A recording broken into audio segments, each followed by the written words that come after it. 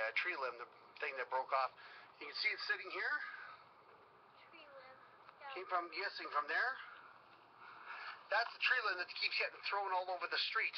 That's what could take up to 14 days to get removed. like I said, someone ought to. And I'm wearing a wig. You're wearing a wig. And I That's